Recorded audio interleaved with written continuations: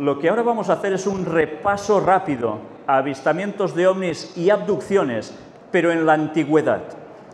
El arte ya refleja en cuadros y grabados muy antiguos cómo realmente van apareciendo imágenes muy extrañas en los cielos. Mirad este cuadro, por ejemplo, tiene que ver con Jesús y arriba pasa alguien sentado en una nave, paso por allí.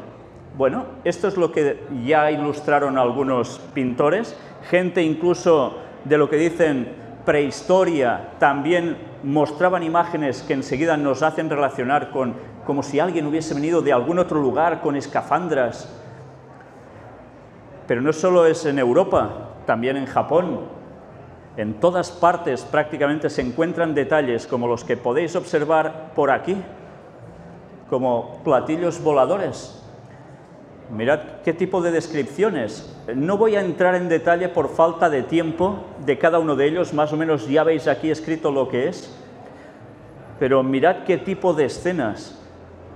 ¿Cómo puede ser? Están dibujando como si viniesen unas naves y aparecieran incluso en el momento de la crucifixión de Cristo. Esta gente realmente veía algo que era, se lo inventaban o qué era esto. En una de nuestras temáticas del gran engaño, precisamente hablamos de este momento de la crucifixión de Cristo, una temática que dura, si no recuerdo mal, unas 12 conferencias distintas, en qué sucede cuando Jesús es clavado en la cruz. Y desde luego algo aparece en los cielos también. Mirad cómo en distintos cuadros se muestran siempre figuras extrañas en los cielos. Incluso mirad esto, en el interior de una pirámide parece un ser alienígena, como nos lo suelen pintar. Sabéis que ahora se habla mucho de reptilianos, ¿no? ¿Qué hay detrás de todo esto? ¿Es cierto? Bueno, pues si vamos haciendo el repaso a través de distintas culturas, veis que incluso no solo son pinturas, sino también lo que serían figuras en arte. Y ya veis con qué tipo de aspecto. Unos ojos rasgados, caras alargadas, más parecidas a un reptil, Mirad, cuando ves las comparativas dan que pensar, ¿no? Y un tipo de ruedas entre las nubes. Mirad aquí una vez más. Están en todo este tipo de arte y a veces vinculado a cuestiones teóricamente del cristianismo. Momentos de crucifixión también, momentos en que Moisés recibe los diez mandamientos también, ¿Esto es real o es ciencia ficción del autor de esos momentos? Eh, ¿Se había fumado algo? Bueno, pues quizá no tanto, ¿eh?